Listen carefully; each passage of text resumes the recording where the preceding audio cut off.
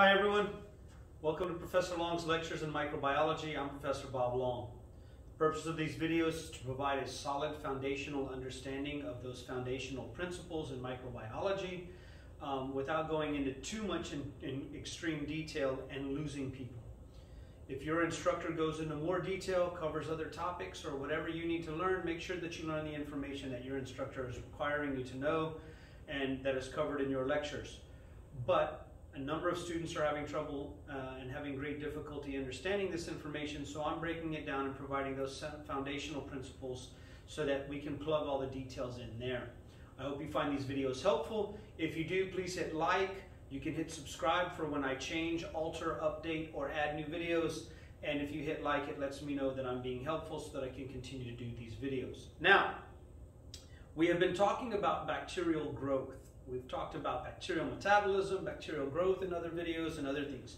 What we're going to talk about today is culturing or cultivating uh, bacteria and microbes.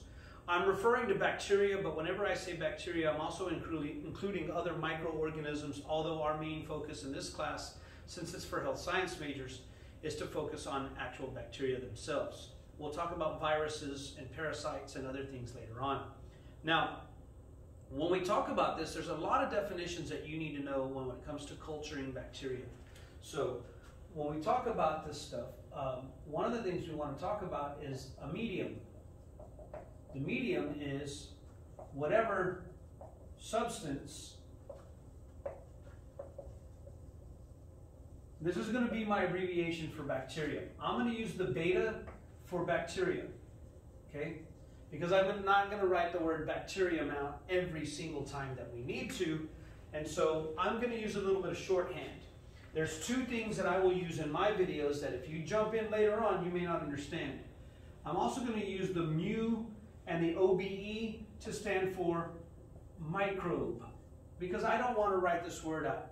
Every time I had to write this out when we were lecturing, we would get, we would write, and I literally came up with these as my own personal shorthand when I was taking notes from a professor, okay? And because I couldn't write everything that they said, I couldn't write fast enough. And we didn't use a lot of PowerPoint back then, I'm that old. So, the medium is whatever substance bacteria are grown on or in. It can be grown in a, in a liquid medium like a broth. Um, it can be grown on a semi-solid uh, medium like agar, and we're going to talk about these things. So when I say the medium, I mean whatever they're growing on or in. There's two major types of media. When we talk about a broth, we usually mean some kind of liquid medium. And there's different nutrient broths. And when we talk about agar, we're talking about a solid medium. And I say solid, but it's really a semi-solid. It's like gelatin, like jello. Um, it is a solid or semi-solid medium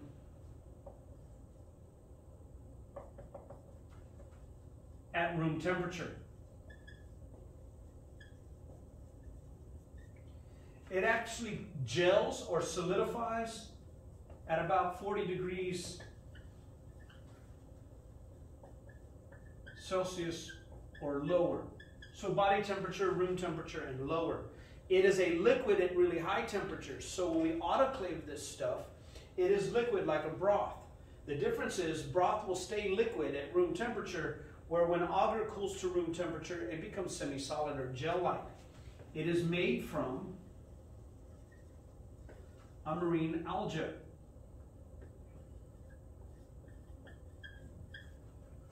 It contains all of the nutrients or many of the nutrients that many microbes grow on, but it is also filled with these things called polysaccharides, large sugar molecules. And some of the polysaccharides in the um, agar allow for gelatinization. They allow it to gelatinize or become semi-solid at room temperature.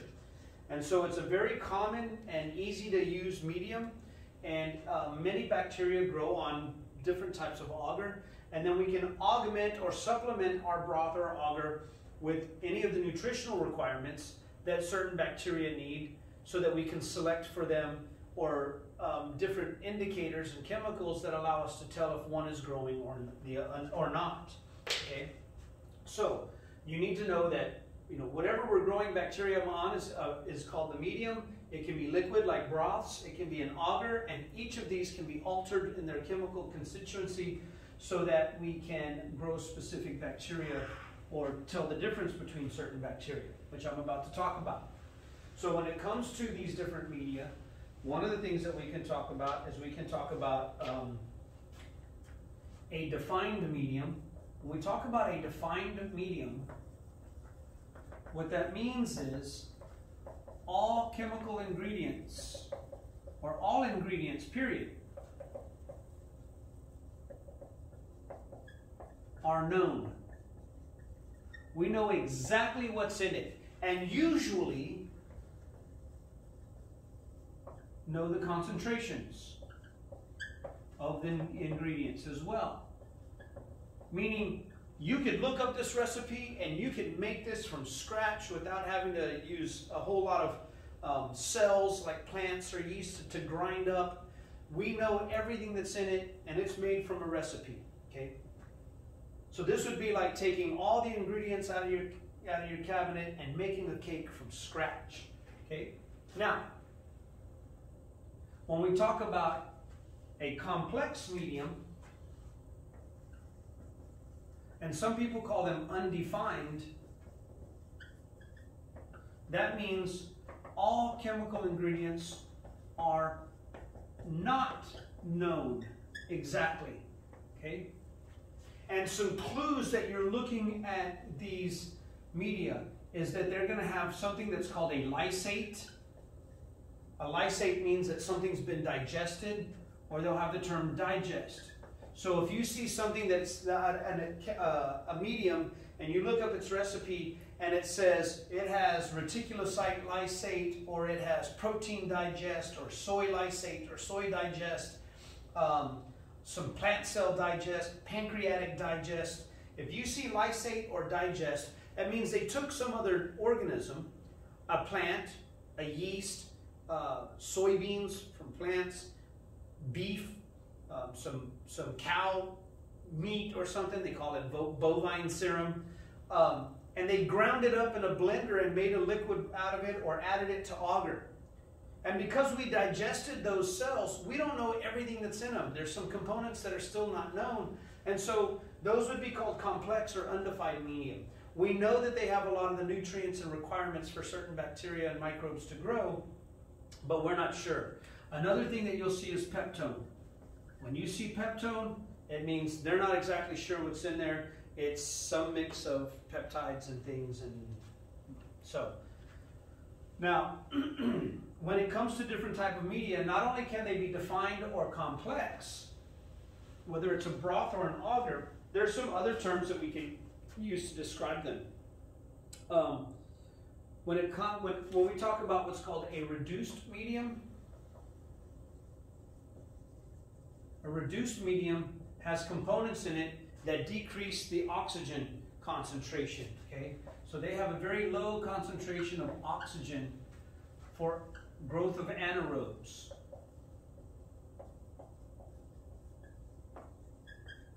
One that's very, very common is called thioglycolate. So there's a broth called fluid thioglycolate broth, or FTB. And that thiol group will bind up any free oxygen and they're really great for growing um, obligate anaerobes. So anytime we talk about a reduced medium, that means that we've reduced the oxygen concentration in there by electron reduction, and therefore it's good for growing um, anaerobes. And you'll use that a lot in labs. Okay, if it grows in that, then it's anaerobic. Now, uh, a few other that we can talk about. When we talk about what's called a selective medium, a selective medium means that um, it contains ingredients that promote the growth of some bacteria but not others. Remember, this is my abbreviation for the word bacterium. I'm going to use it a whole lot, or bacteria. So a selective media lets us select what we want to grow. And it can select or promote the growth of some bacteria, but not others. It inhibits the growth of specific bacteria. It's another way to think of it. Okay? So it has chemicals in it that select for or promote the growth of some bacteria but inhibits the growth of others. And those chemical components would be called inhibitors. And so if I'm trying to grow um, gram-negative bacteria, then there are certain compounds and chemicals and ingredients that will prevent the growth of gram-positive bacteria, and so that would be a selective medium. Okay? Now, something that's similar to a selective medium is called an enriched medium. An enriched medium does contain specific ingredients that promote the growth of some bacteria but not others, or it inhibits the, the growth of specific bacteria. But what makes it different is it is, it is um, designed to allow the growth of low numbers of specific pathogens. So if I was just if I was trying to grow some kind of fecal coliform bacteria that's pathogenic, then I might use an enriched medium. And what that enriched medium does is not only does it select for certain organisms, but it also has chemical components or ingredients that allows it to just grow certain number of bacteria, like a certain pathogen. I don't want them to grow like crazy, but I do want to grow some. So we call that an enriched, enriched medium. Very similar to selective, but this is the key. They're usually designed to grow low numbers of pathogens. Okay? They select for certain pathogens and then allow the growth of low numbers of them. Um, a differential medium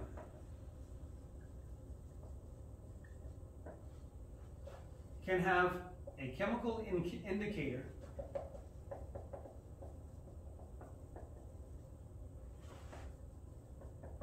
that allows one to distinguish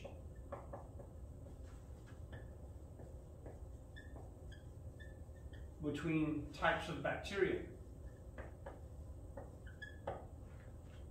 For example, there are certain bacteria of a similar genus that um, can grow on a, on a certain medium. But if I put some kind of indicator and usually, it's not always, but usually it's a pH indicator. Something like phenol red and that will change color if it becomes acidic.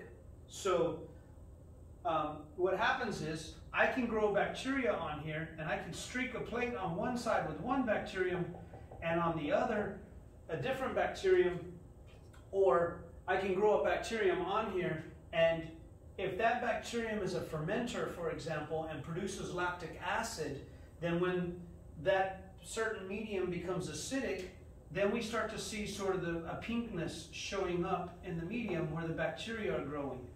And so it starts to turn pink or red. That indicates that not only is the bacterium growing, but it's a fermenter.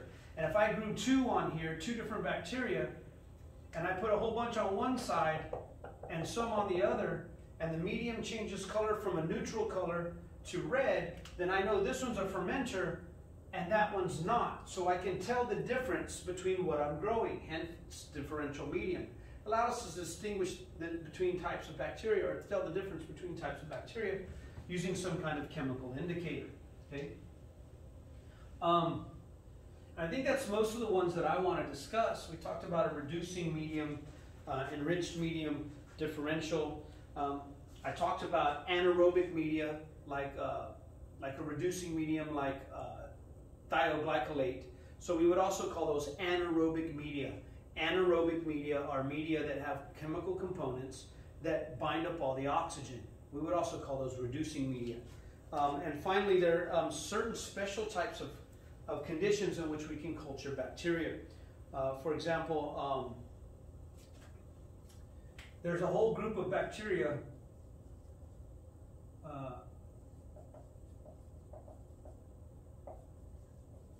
there are some special conditions under which we can grow certain bacteria. They're a thing called capnophiles. Capnophiles love carbon dioxide, and therefore they have to grow in a concentration of high carbon dioxide. Um, so we would grow them in uh, an incubator that has a very rich carbon dioxide atmosphere. Uh, there's a thing called a candle jar. I'm, I'm, not familiar, I don't think we've talked about this before, but there's a certain jar, a type of uh, medium where, or conditions in where I could grow plates in a jar where you light a candle. The candle will consume all the oxygen and produce carbon dioxide and becomes a very carbon dioxide rich environment. And so capnophiles can grow in rich carbon dioxide environments. It allows us to, to grow specific bacteria. Um, obligate anaerobes would require very low oxygen.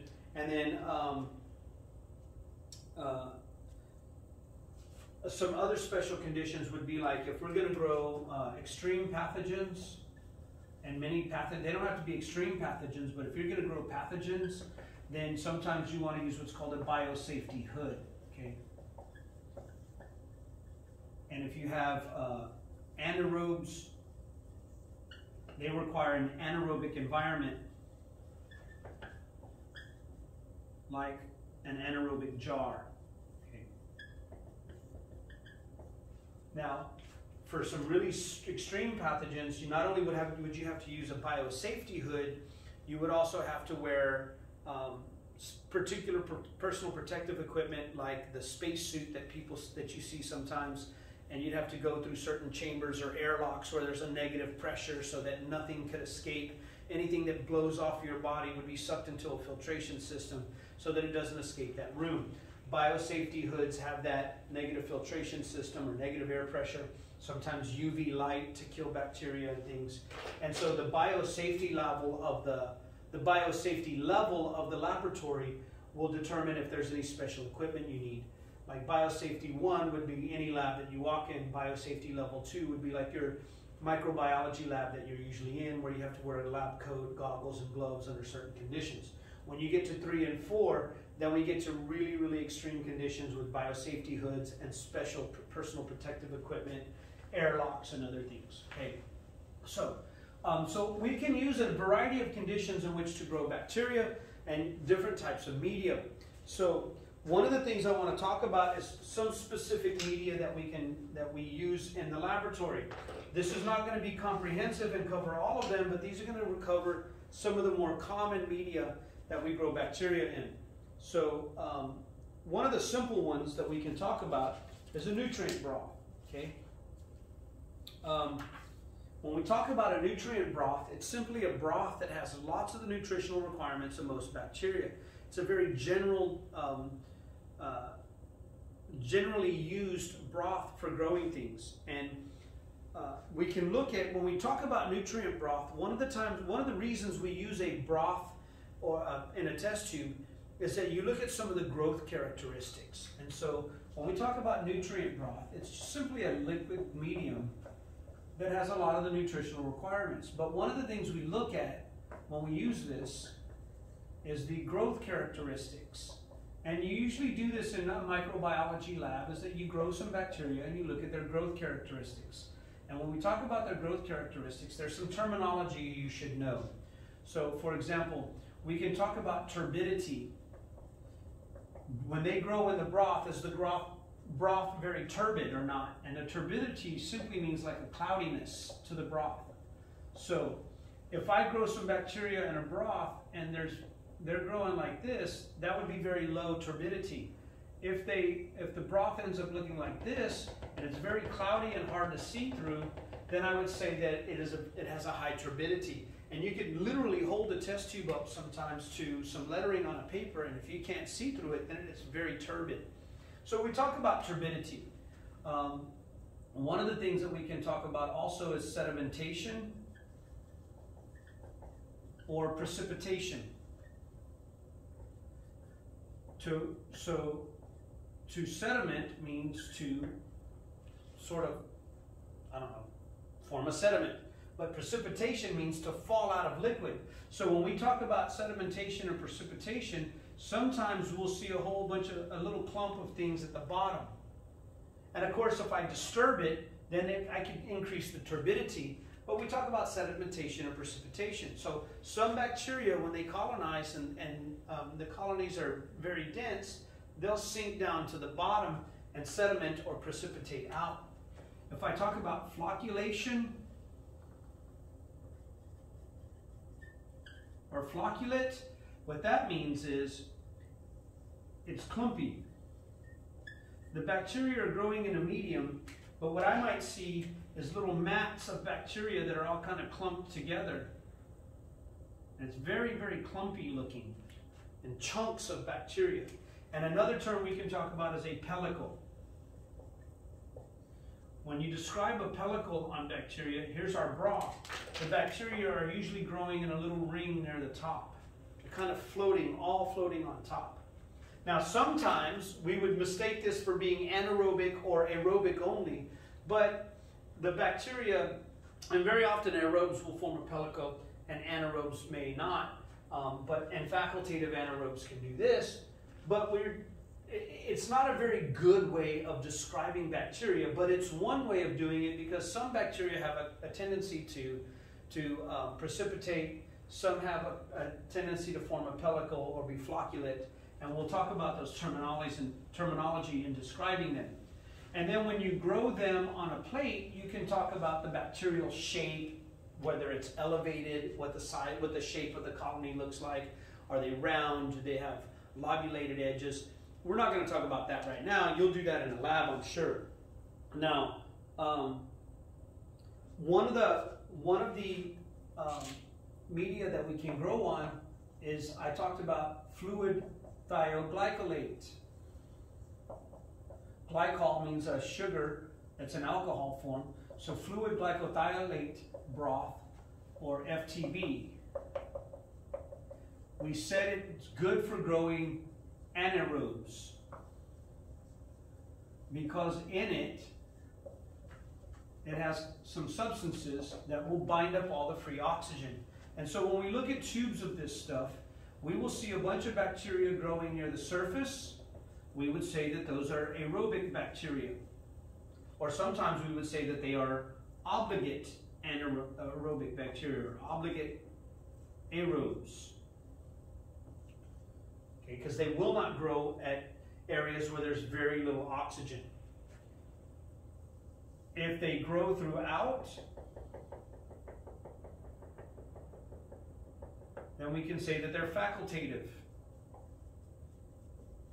anaerobes. If they grow in a little certain area, sort of near the middle, not too much oxygen, not too little, then we could say that they were microaerophiles, which simply means they love air, but only a little bit. Too much oxygen and too little oxygen kills them, and then the last way that they would grow is if we're looking at this and they all grow at the bottom, then we would say that they are anaerobes, or we might say that they are obligate anaerobes because they can only grow in a low oxygen environment. Okay. So fluid thioglycolate does not have to be put in an anaerobic jar, by the way, because the fluid has something in it that binds up all the free oxygen, then bacteria that must have free oxygen can grow up here where there's air, but the further down you go, there's less and less and less oxygen, the more anaerobic they are. Okay? So we would, if we were testing to see if something was aerobic or anaerobic, we might grow it in a uh, FTB tube, okay? Fluid thioglycolate. Know that. Now, when it comes to certain media, we can describe the media as simple um, or complex or defined and undefined and um, enriched, and we can uh, alter the components, again, to select for certain bacteria or differentiate, or both select and differentiate between bacteria. We're going to talk about some of those. Okay. Um, so a few that I want to talk about that are selective media. One of them is called 6.5% salt agar. And as you can imagine, this is, has a high salt concentration which happens to be exactly 6.5% most bacteria are somewhere around 1.5% or less. Okay. They grow somewhere at 1.5% um, salt concentration or lower, right? But there's some bacteria that tolerate high salt concentration. So this is selective for microorganisms this is my abbreviation for micro, is the like micrometer, but microorganisms that grow or require high salt concentrations. Okay, and it's a selective medium. And there are a few of these that grow in this, particularly if, like, for example, if you were going to try to grow some kind of halophile, okay? Um, now, there are a few bacteria that grow in a high salt concentration. Uh, a couple of them would be Staphylococcus. There's certain staph infections. A number of these can grow in high salt concentration or at least tolerate it, so we would say that they're tolerant of high salt. Uh, some enterococci and aerococci do this as well. So now remember, cocci simply describes the shape of the bacterium. They would be round. And then the other terms would be indicative of uh, a certain growth characteristic, like in staph, we've talked about that. Entero simply usually means inside the gut. So anytime you see enterobacter, enterococci, enterobacillus, we're talking about something that's growing in the enteric region of the body or in the guts. And aerococci are things that require some oxygen. These are three groups of bacteria or genuses, uh, geni, that really can grow in some high salt concentrations. There are some others that are called extreme halophiles and they would grow in really, really high salt concentrations. Um, not even enough that 6.5% uh, or 6.5% salt agar may not be enough for even those. Now, uh, another one of the media that we can look at is called GSA. This is called glucose salt agar. And as you can imagine, it has a lot of glucose and salt. And one of the things about this is it usually has almost only glucose as its sugar. And bacteria and microorganisms need sugar to make ATP, as we've talked about in previous videos. So one of the things that uh, I want you to know about this is that it uses glucose and salts, um, or it's, it selects for, it doesn't just use it, but it selects for bacteria or microorganisms that require glucose and salts for all their organic components. So they cannot convert things like mannitol or other sugars into some of the other organic components. They have to have glucose in order to grow. So it's selected for those that are glucose loving. It's also a defined medium in that we know every chemical component. That's about all I want you to know for these for this particular group. Okay. Excuse me. Now the next one on the list is EMB or eosin methylene blue. And uh, I've sort of changed the order that I'm presenting these from the way that they appear in text in the textbooks or lab manuals. So I may step away and refer to my notes just so that I make sure I'm going in the correct order. These have a stuff called eosin, which happens to be a dye, and methylene blue, which is also a dye. Okay, so EMB agar or eosin, eosin methylene blue agar is both selective in that it will only allow specific bacteria to grow, plus it is differential. So it has some indicators in it. The dyes actually happen to be inhibitors of certain bacteria, and they can be indicators that tell us is it this type of bacteria or that one? It'll select out certain groups and then it will allow, allow us to tell the difference between two, two or more groups that are growing on it, okay? Um, so, uh, when I talk about eosin methylene blue, a couple of things I want to share, I want to mention. So, both eosin, the dye, and the methylene blue, which I'm going to abbreviate as MB, inhibit gram-positive bacteria from growing. Or we can say that they select for gram-negative bacteria. Okay? It is a selective medium. And those two compounds prevent most gram-positive bacteria from growing. Okay? Also, um, one of the groups that, that is selecting for are what we call gram-negative bacteria, and there's a particular, particular group that they can grow. They're particularly good at growing uh, what we call enterococci. Okay? So these are uh, bacteria that will grow inside the gut, and a group, a certain group of them are called uh, enteric rods, or a lot of times we'll say fecal coliform bacteria. One good example would be E. coli. They're very good at growing E. coli.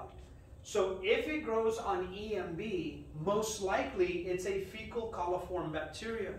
So let's say, for example, someone has a yeast infection, and there are other ways to test for it, but you could take a swab of any of the, the uh, secretions or uh, fluids produced in a yeast infection, and you could spread it on an EMB plate, and if it's a gram-negative bacteria that's fecal and coliform, then it most likely will grow. If it's not, it won't grow on this, especially gram-positive bacteria. Um, now, one of the things that we also know about it is that in addition to these being selective, it also has uh, some differential components to it. Uh, also, it contains lactose and sucrose. Now, not all bacteria can digest lactose and sucrose and ferment them. And so lactose and sucrose um, can be fermented, and when they are fermented, then you will get a very deep purple or a dark purple color to the colonies. Okay? They'll turn very, very, very dark in color. If they're non-fermented, then we have very light colors. So um, the fermenting bacteria will turn very dark. If they are non-fermenters, the colonies are usually pretty neutral in color. They really, they really just don't produce a lot of color, okay? and they're usually non-fecal coliform. The non-fermenters, so a lot of fecal coliform bacteria are fermenters. So not only will they grow on this, but they'll also turn a very, very dark or deep purple color. Okay? Again, this is a lot of gram-negative bacteria, and if you recall, or we actually haven't gone over a, a great deal of gram-positive and gram-negative yet, but gram-negative bacteria happen to be usually very pathogenic or the ones that create a lot of the issues in human health. Gram-positive aren't quite as pathogenic, and when we study the difference in their walls, we'll talk about that, or in their, in their outer coverings. Okay, So that's eosin methylene blue. The dyes not only uh, inhibit gram-positive bacteria, but they can also change color if uh, a bacterium is fermenting, like some of the fecal coliform bacteria, and as those indicators are in there, it will cause the colonies to be very, very dark purple, almost like a blackish purple color, okay? Now, another one that we can talk about, uh, this one's real simple. TSA, which is tryptic soy agar, or trypticase soy agar, okay? This is a very common agar that's used for growing in general lots of bacteria. Um, it's, it's, it's, not very selective. It's a very general one. It's, it's uh, undefined. It's a complex medium because basically it's got a lot of soy lysate or soy digest in it, and lots of bacteria can grow on that. So it's a very common one. It's not very selective. It's a very general, generally used um, agar for growing a lot of bacteria. Many things can grow on it. Now, um, we talked about glucose salt agar. We've talked about EMB. I want to make sure I don't skip any. There's one called hectin. And a lot of people want to say hectoin. I still actually say it sometimes, but um, Hektoen enteric agar. Which is usually abbreviated HE. If you see a plate with HE written on it, then that's Hektoen uh, enteric agar. It is both selective and differential. Okay, that's one of the things that we know about this agar is that it allows us to select for certain bacteria, and it helps us helps us differentiate. So it's both selective and differential. Okay, I wish I could write better. Now, let me grab a, a drink here. My throat is getting rather dry. If I were really good at editing videos, I would edit this out, but I'm not. Now, Hektoen enteric a number of the things that it has. Um, it has bile salts.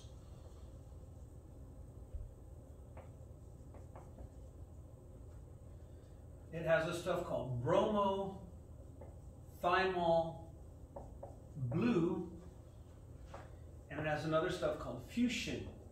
Now, bromothymol blue and fuchsin, the color fuchsia, um, can be chemical indicators or dyes in many instances. And then the bile salts are just kind of a, the salts from bile.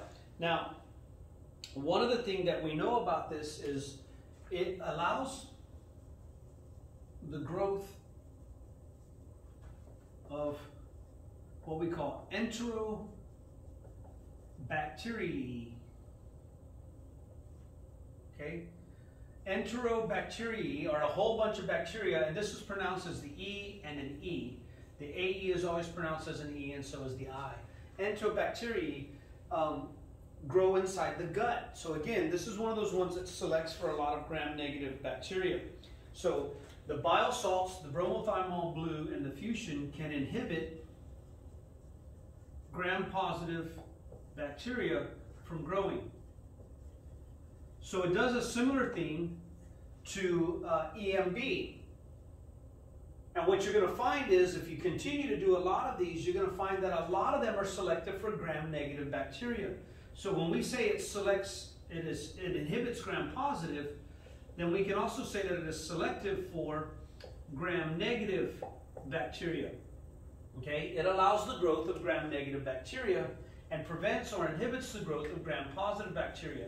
And so, and one of the things that I used to use is like, for example, where do we secrete bile? Into the digestive tract. And that's where we have enterobacteriaceae. So it's really good for growing some of these gram-negative uh, enterobacteriaceae. And it allows us to select for certain groups. And some of the, the um, two of the major groups that it can allow us to select for are called Salmonella You've heard of salmonella poisoning, a type of food poisoning, and Shigella.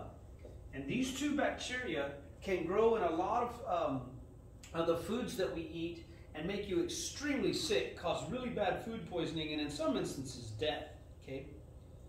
Um, now, when I start to look at this medium, it also has some chemical indicators in it that allow us to differentiate. So it's selective for gram-negative bacteria, particularly Salmonella and Shigella, but there's a few other pathogens and Enterobacteriaceae that can grow in here. But if it grows, it's most likely one of those two. The chemical indicators are several fold. So um, one of the things we know is that it has lactose, which is a sugar. It contains sucrose, and it has another one called salicin from salicylic acid. So these three are sugars that can be fermented.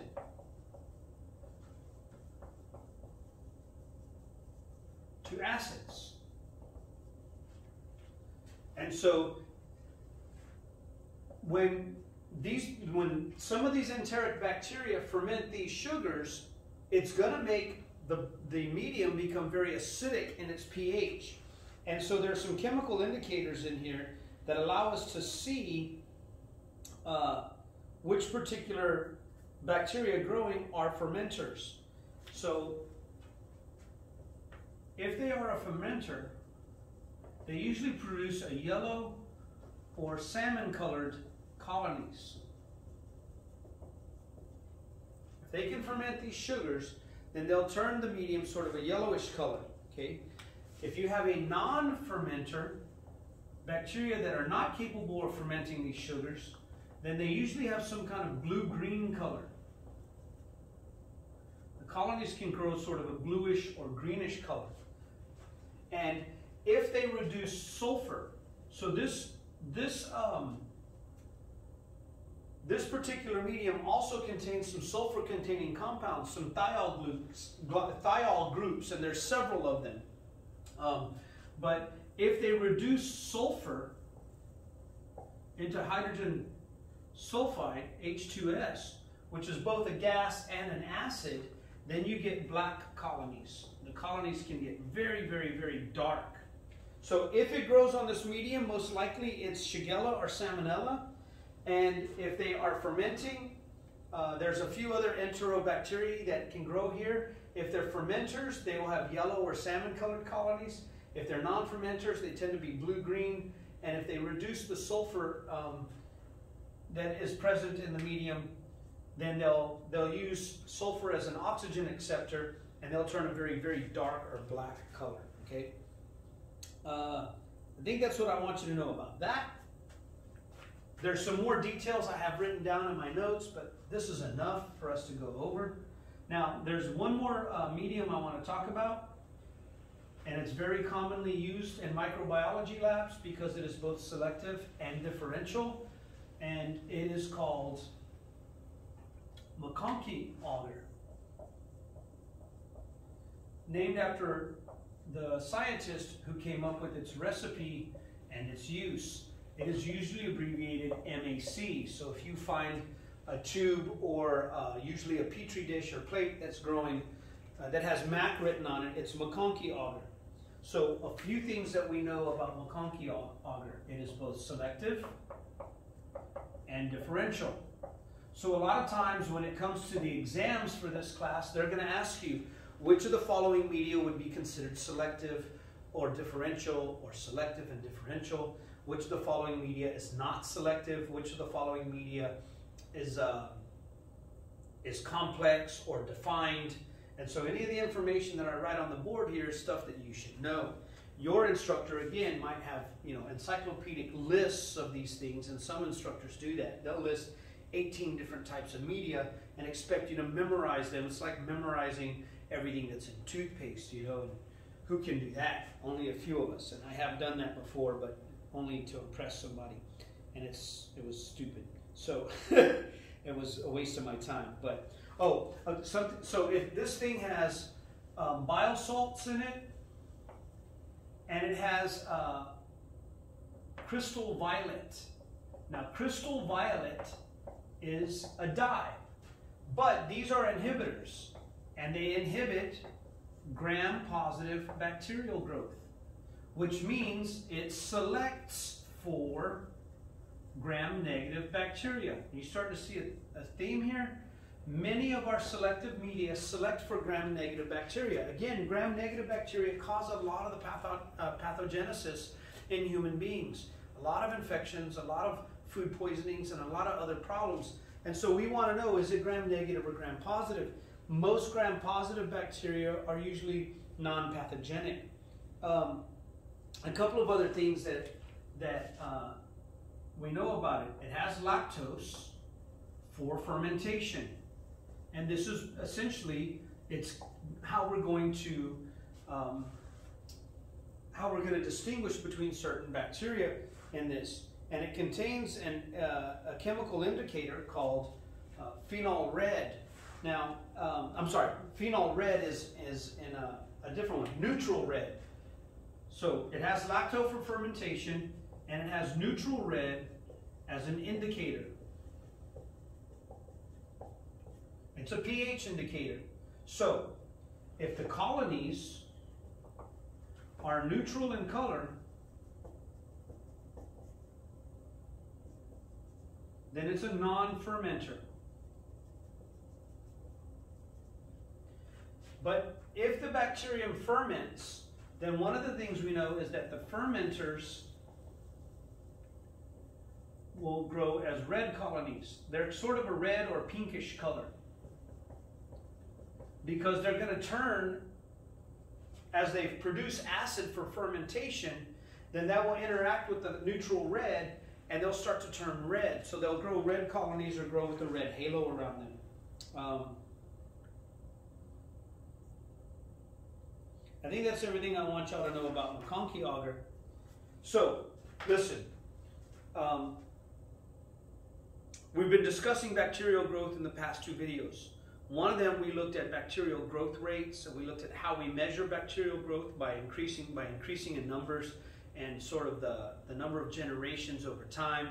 We looked at the lag log phase, stationary phase, and decline phase. And then we talked about some of the nutritional and uh, environmental requirements for bacteria temperature, pH, oxygen concentration, water and osmolarity or salt concentration, and some special um, chemical and, uh, requirements of bacteria. And you should know a lot of that. In this video, what we've been talking about is different types of media that we can create, knowing all of those nutritional requirements and environmental requirements, we can use specific media to grow specific bacteria. And we can use these for tests. So when someone has a severe infection, what you could do is you could take a swab and you could run it through a whole bunch of these. You could grow it on some nutrient broth, you could grow it in some thioglycolate, fluid thioglycolate broth, and if it grows at the bottom, you know it's anaerobic. You could run it on certain plates. If you ran it on a MacConkey plate, um, you would know that if it grows in an oxygen-rich environment, it's, it's not an anaerobe. If you grew it in an anaerobic jar and it still grows, it's anaerobic, right? Well, we would also know that uh, if it did grow, it's gram negative, and if it turns the the uh, if the colonies are pink or red in color, then we know it's fermenting. Okay, so I could also grow it on EMB until am I growing something like, uh, or if I grow it on uh, not only EMB, but if I grow it on um, uh, MSA um, or any other agars, then knowing all the results of everything might allow me to select for, well, I know it's gram negative and it grew on this, but not that, and under these conditions, it's most likely one or two of these three major um, uh, pathogens that can cause this type of infection. Very often when a patient is getting ill, there could be a number of bacteria or microorganisms that are causing the problems. And so we would have to be like a sleuth, like a detective, like Sherlock Holmes, and look at all the clues and indicators, run all these tests, and get down to which specific um, small group of bacteria are causing the problems. It's almost like being a murder detective.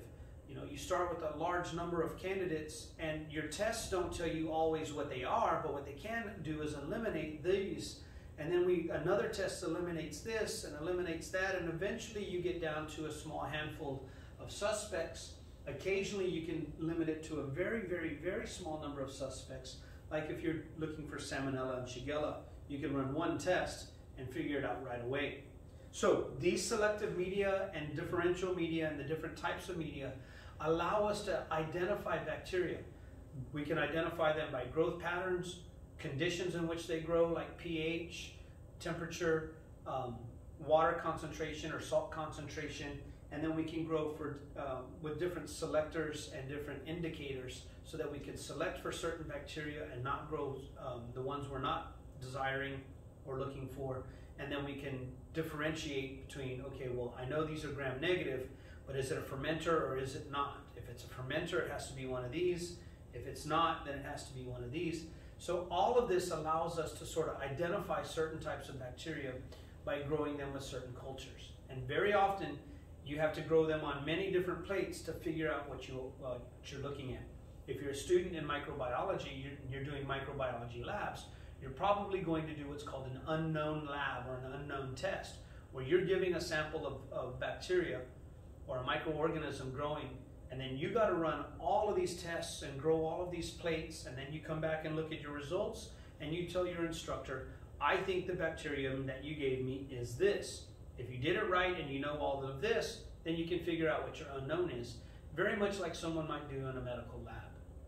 Anyway, I hope that this was a little bit informative, or if not very informative. I hope you had as much fun as I did, and I hope to see you in the next video. If you did find it helpful, then please hit like and subscribe or leave me a nice message. Um, if you found it not helpful, then leave me a nasty message and uh, I'll respond accordingly. Anyway, hope you had as much fun as I did. See you in the next video.